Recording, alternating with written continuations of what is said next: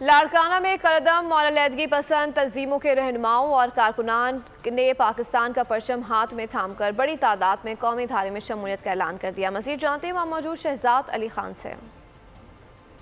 मुल्क के सतहत्तरवें योम जश्न आज़ादी की आमद आमद है और पाक फौज के अज़म इसकाम और तजदीद अहद वफा के हवाले से लाड़काना में भी जो है एक प्रेस कॉन्फ्रेंस की गई है, जिसमें साठ से जायद नौजवानों ने कौमी धारे में शमूलियत का ऐलान किया है। कुछ नौजवान मौजूद हैं, इनसे बात करेंगे।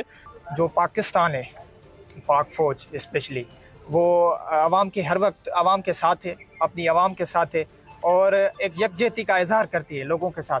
हम पाक फौज के साथ हैं, कि ऐसे में कायद आज़म मोहम्मद अली जना और अलामा मोहम्मद इकबाल का जो है वो ख्वाब पूरा हुआ।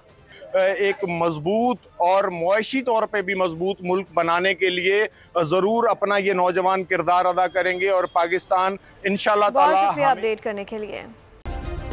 सब्सक्राइब करें और बेल दबाएँ ताकि कोई खबर रह न जाए।